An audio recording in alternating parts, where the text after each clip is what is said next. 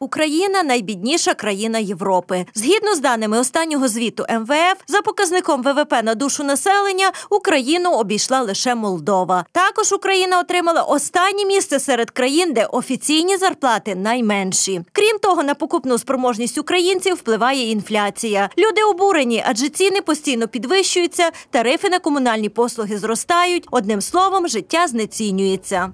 Я пенсіонерка, та як не мої діти, та я не маю на лікарство. 40, а 43 роки я проробила. Життя тяжоле.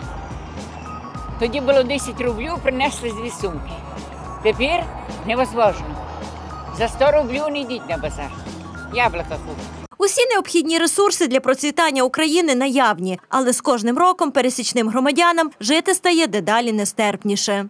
Ми не використовуємо свої трудові ресурси. Крім трудових ресурсів, ми маємо розуміти, що ми дуже багаті на корисні копалини. Ми дуже багаті на е, саме розташування нашої країни. Ми в центрі центрі Європи, де ми маємо вихід і, і в море. Ми маємо е, гори. Ми маємо все для того, щоб ми жили е, достойно і багато. Біля 50% у нас людей це на межі бідності, тобто заробляють суто на комунальні послуги і на частку харчування.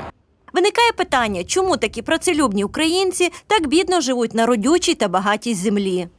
Якщо б закони діяли для всіх одинаково, то ми б могли говорити щось, щось е, щодо збагачення наших простих людей. Корупція, яка сьогодні діє на у, у нашій державі, це е, поглинає все е, позитивне, що робиться нашими людьми.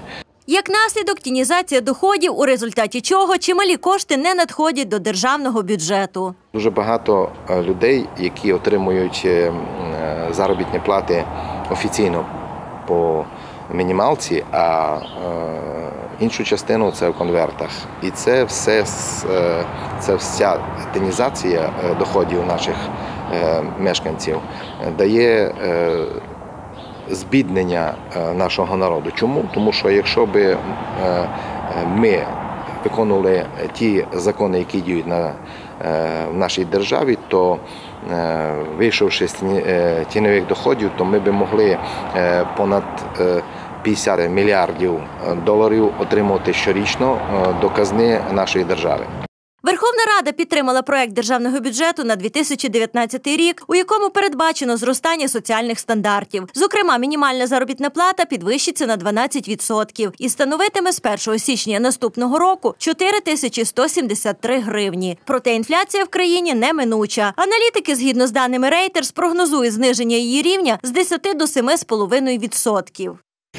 Е, Інфляція взагалі це негативне явище, яке давно вже відомо людям. І в загальному, якщо по-простому сказати, то інфляція це знецінення грошей. От. е, Причин інфляції є багато. Ну, зараз, якщо взяти в Україні, то звичайно основним інфлятивним таким чинником це є те, що Україна це воююча держава, і величезні кошти вкидаються у те, щоб належним чином вести е, збройне протистояння. Були нещодавно підвищені і заробітні плати, і е, пенсії пенсіонерам. Якщо е, це не супроводжується збільшенням випуску продукції, то звичайно призводить до інфляційних е, процесів. Гроші, які не підкріплені товарами, які випускаються всередині країни. Ми все одно ці кошти витрачаємо на закупівлю іноземних товарів. Тобто маса грошова збільшується, а виробництво товарів в Україні залишається на попередньому ринку. Це на рівні У бюджеті на 2019 рік закладено макроекономічні показники з ростом реального ВВП на 3%, при інфляції 7,4%.